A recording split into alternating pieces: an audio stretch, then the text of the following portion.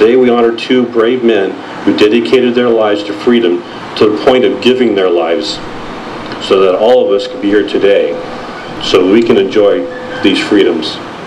Today we thank them, we thank you, we thank the families to instill in them the values to that end we have shared with the community and with our nation.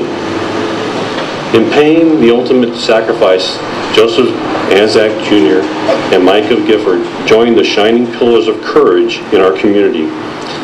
Let us not be saddened by their loss, but instead be thankful for giving the gift of knowing them and for the time we spent with them.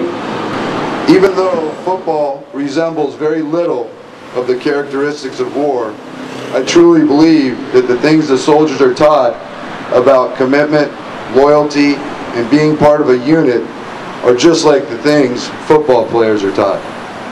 Joe Anzack represented these traits as a football player better than anyone I have ever coached.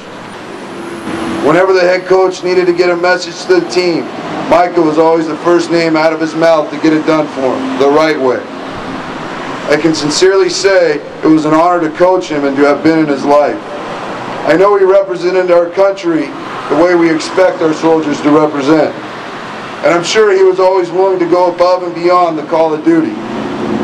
And I guarantee that the soldiers standing to his right and left felt extremely lucky to have him on their side. And I can also guarantee that Micah would have done anything for those soldiers.